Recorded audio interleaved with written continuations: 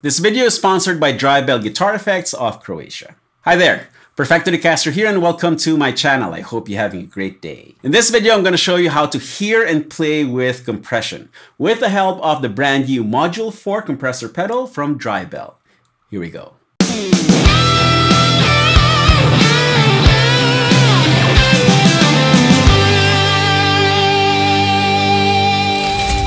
Compression is an often misunderstood effect, mainly because it does not drastically change your guitar tone, and it is an effect that is usually felt than heard. So I figured the best way for me to demo the Module 4 compressor pedal is to show you guys how to hear compression and how to play with compression.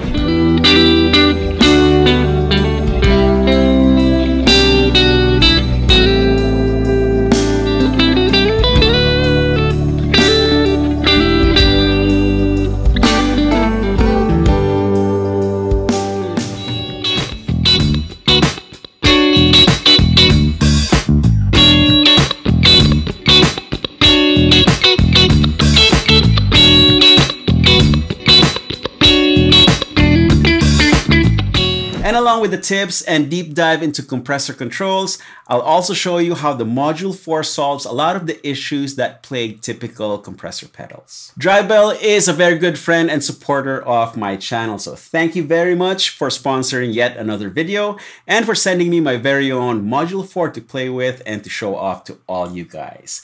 Please give them some love, check out their website, the link is in the description. The Module 4 is Drybell's take on the classic Dan Armstrong orange squeezer compressor from the 70s. However, instead of building a straight up clone, Drybell made the orange squeezer an option in the Module 4. So you can choose between the warm vintage tone of the orange squeezer circuit or the modern and crisp tone of a full frequency compressor. And aside from the pedal's visible controls, there are hidden functions that address your typical compressor pedal problems. Now let's start with the bottom row of knobs. Preamp controls the input gain and drives the compressor stage, and you can use it to adjust the amount of compression you need. Attack and release are your typical compressor controls. Attack controls the reaction time of the compressor, while release controls the time before the compressor stops compressing. You also tweak this knob if you want to shape the sustain of your guitar tone. Now let's go to the top row of knobs. Blend controls the mix between the compressed and uncompressed guitar signals. Fully clockwise is 100% compressed. And as you turn the knob back counterclockwise, you dial in more of your initial pick attack for a more natural feel. The tone knob works like any other tone knob. You can dial in the darkness or the brightness of your guitar tone, and the output knob serves as the makeup gain of your compressor. All the way clockwise gives you plus 17 dB of boost, and all the way anti-clockwise gives you minus 17 dB attenuation. Now, if you look closely at the pedal graphics, you will notice these dot markers. And setting the knobs according to these markers gives you the default setting for the Module 4. If you are in orange mode, then that is the setting for the Dan Armstrong orange squeezer tone. And in full frequency mode, those dots represent unity gain for those controls. Now let's check out some tones. I will show you the hidden functions as I go through the playing examples. I'll be using my Shabat Lion Special plugged into a jazz chorus amp model in Amplitube. I feel that solid state amps are the best way to hear the effects of compression, mainly because tube amps already give you some natural guitar compression and that makes the effect a little harder to listen for. And hopefully at the end of this video, you'll know what to listen for and you can adjust and tweak according to your needs. Okay, here is the dry uncompressed signal.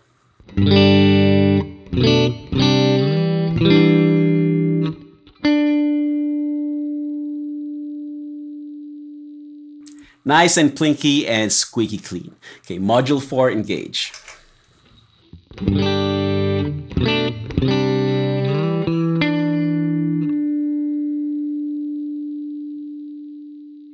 Now what compression does is it takes the loudest parts of your guitar signal and pushes it down.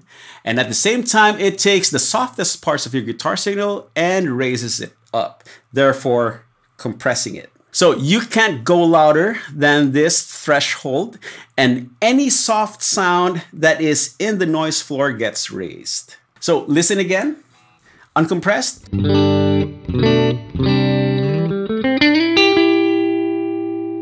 Compressed.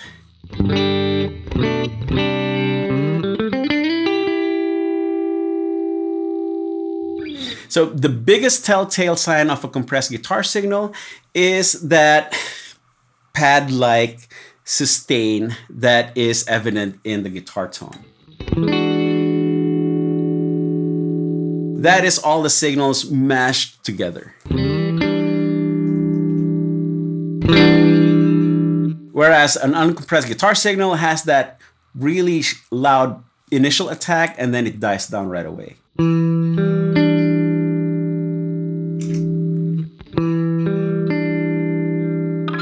Now the Module 4's Orange mode makes it easy to hear the compression effect. So let's switch between orange and the full frequency modes.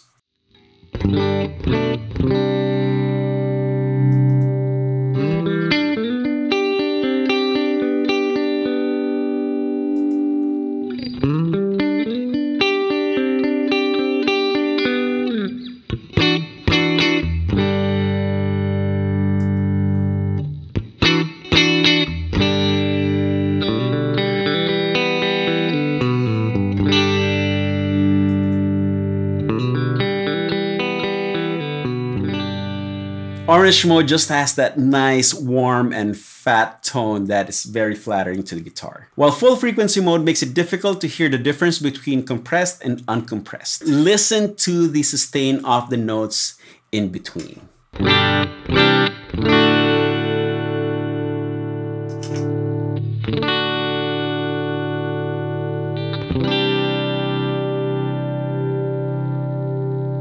It almost sounds like a synth pad. Now another way to hear compression is with picked arpeggios. Uncompressed arpeggios usually sound clinky and rather pointed. And a compressor just evens everything out and actually makes each note pop better.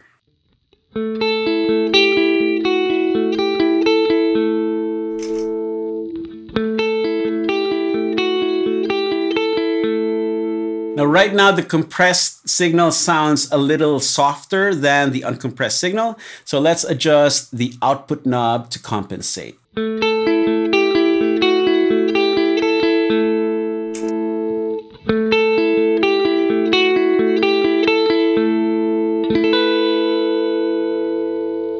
Now, another way to hear compression is to go into the extreme settings. And that is a very fast attack and a very long release.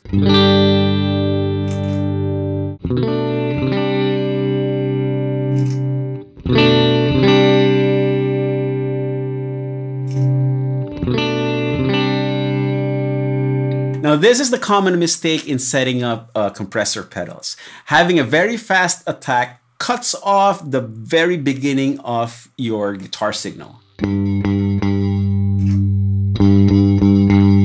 You lose the pick attack. And having a very long release setting can muddy up your guitar signal.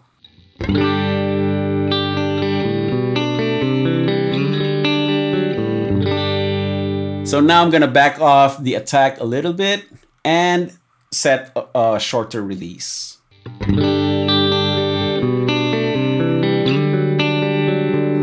You get some of those sparkle back.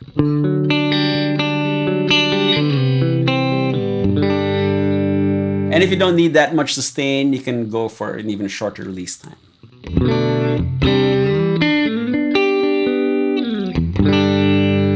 Now let's say you want that long release time and quick attack, but still want that pointed uh, pick attack from your playing. What you can do is you can back off on the blend knob.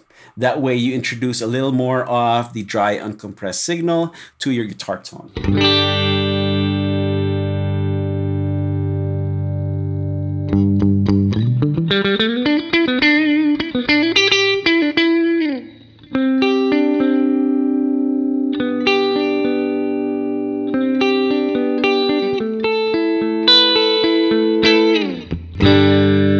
This actually feels really natural, but then I also have that nice long pad-like sustain underneath the notes.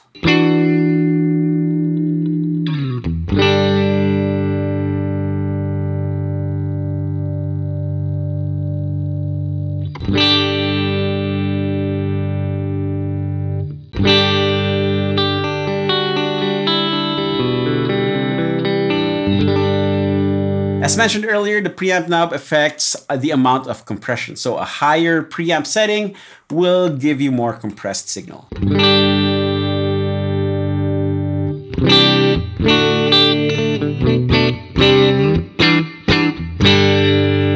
Now there's also a visual reference for the compression using the status LED light. So all the way counterclockwise is the least amount of compression. And you can see the LED light go from green to slightly amber. And as you turn it up, you get more amber. And the red light tells you that you are using a lot of compression.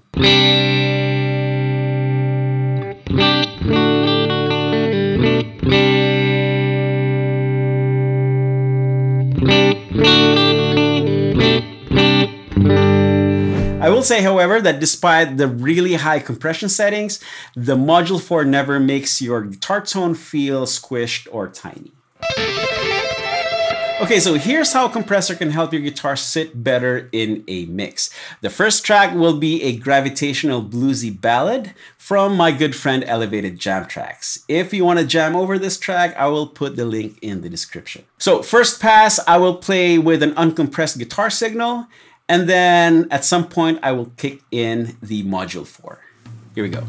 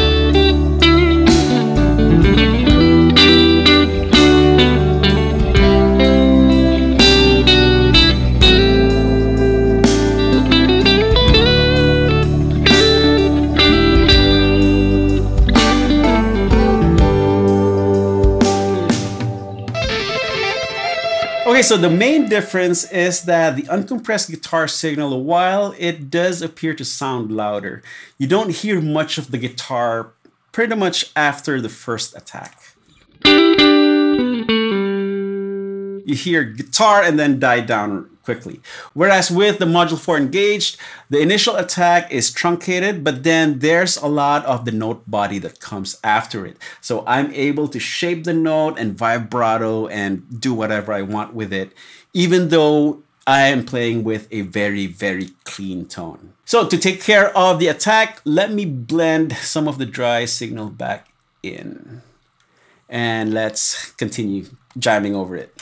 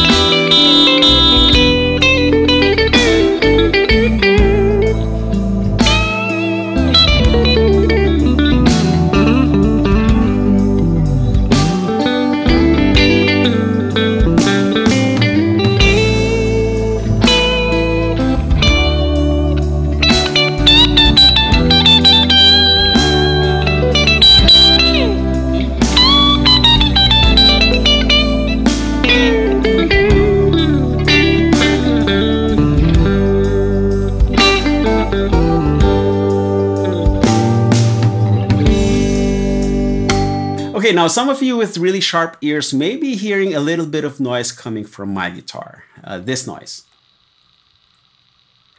And that is because a compressor, as already mentioned, raises all the soft parts of your guitar tone. So this is part of the noise floor, which is um, hard to hear when, without a compressor. It's basically not there. And with a compressor, it amplifies all the soft bits. Now to address that, the Module 4 has an expander to address that particular issue. And you engage it by holding on the main foot switch for two seconds. And when the LED light turns blue, that means you have the expander engaged. See? No noise.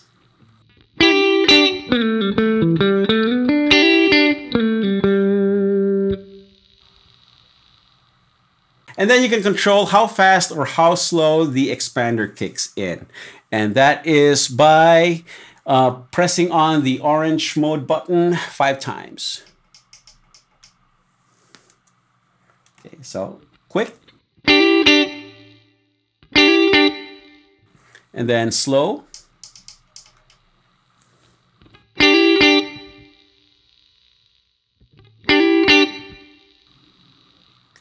I prefer a quick uh, engagement of the expander.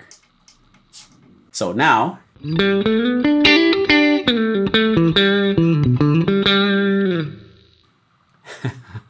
now this is especially handy if you like using a compressor in front of, let's say, a drive pedal or a dirty amp.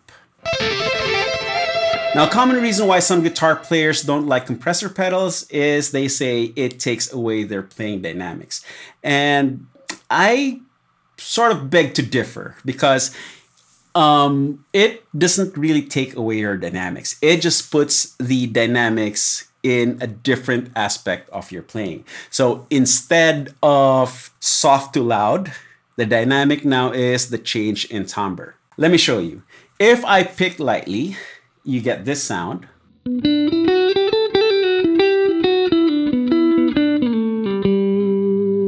And if I pick hard, it sounds like this.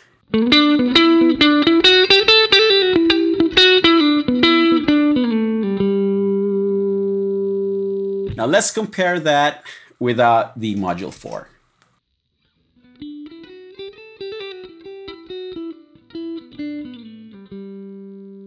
Loud. okay,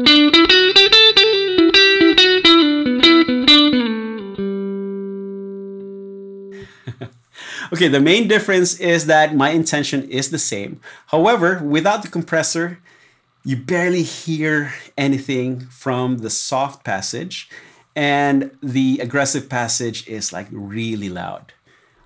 The compressor evens all of that out, but still uh, keeps your original intention intact.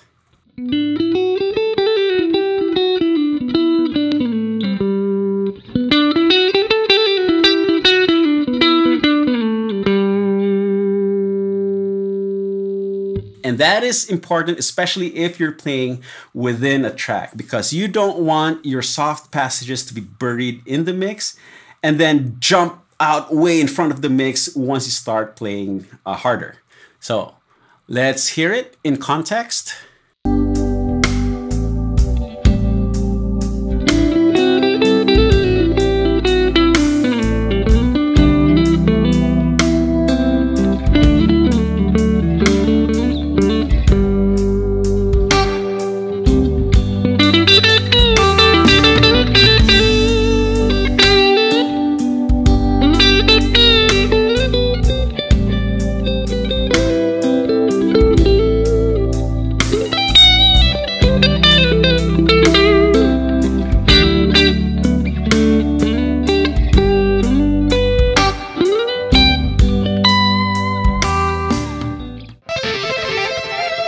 So we just heard the Module 4 help my guitar tone sit nicely in a more produced track. So here is something a little bit more sparse and raw. Uh, this is a funky backing track with just bass and drums. And uh, yeah, I'm gonna start playing with an uncompressed guitar signal and then I'm gonna kick in the Module 4 at some point. Here we go.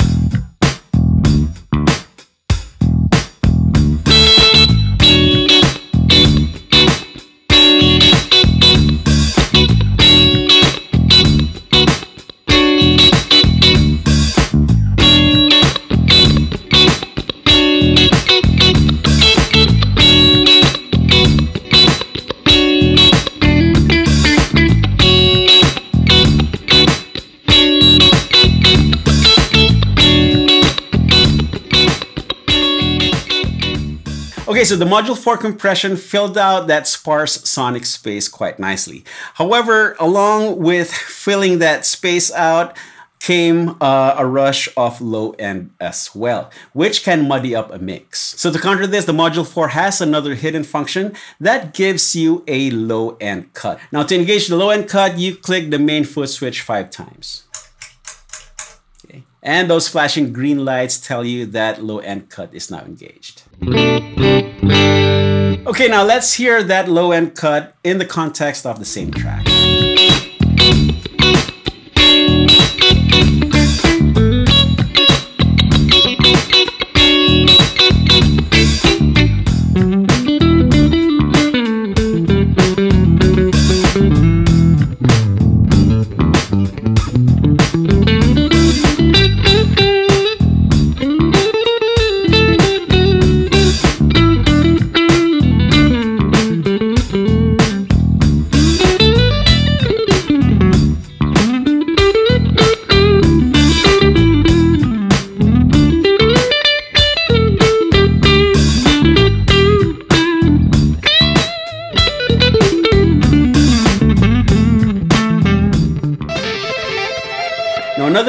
Function of the Module 4 is the ability to run it in either true bypass or buffered bypass mode. And you choose by holding down the orange button for two seconds. Okay, green lights means it is in true bypass and Red lights means it's in buffered bypass. And on top of that, you have the option of keeping the orange mode EQ engaged even with the Module 4 pedal in bypass. This way, the bypass EQ and the active EQ is the same. Now, after tweaking the hidden functions, you'll want to save these settings. That way, you don't have to tweak again the next time you power up the Module 4. Now, to save your tweaks as a default, hold down the orange and the main foot switch for three seconds.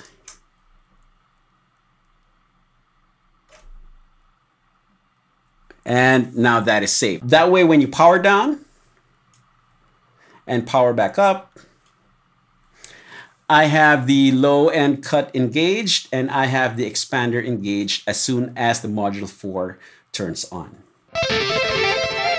Okay, there you have it. That is how to hear and play with compression thanks to the help of the brand new Module 4 compressor pedal from Drybell. Again, big thanks to Drybell for sponsoring this video and for giving me free reign in presenting the Module 4 compressor pedal to all you guys. If you want your very own Module 4 compressor, I will put a link to the Drybell website in the video description, so go check it out. Now, if you dug this video, please give it a thumbs up like, hit subscribe if you haven't yet, and don't forget to ring that bell. And let me know what you think of the Module 4 compressor pedal in the comments section below. Can you now hear the difference between an uncompressed and compressed guitar signal? Let me know. Now click on an end card to go watch my other Dry Bell videos. The Engine Foundation preamp or the Dry Bell Vibe Machine version 3. Or you can just go grab your guitar and play something. You all know the drill? Practice makes perfecto. Cheers, guys.